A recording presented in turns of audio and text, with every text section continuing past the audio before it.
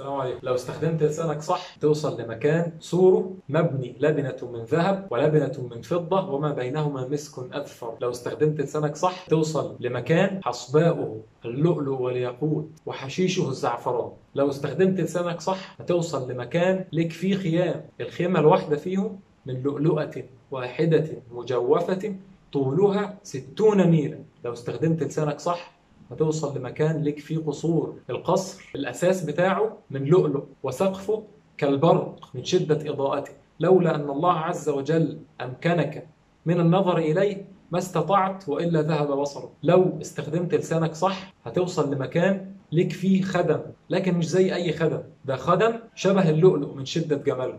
قال تعالى ويطوف عليهم ولدان مخلدون.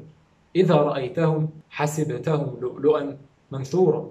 لو استخدمت لسانك صح هتوصل لمكان هتسمع فيه السلام من الملائكة. قال تعالى وقال لهم خزنتها أي الملائكة سلام عليكم طبتم فادخلوها خالدين. سلام عليكم.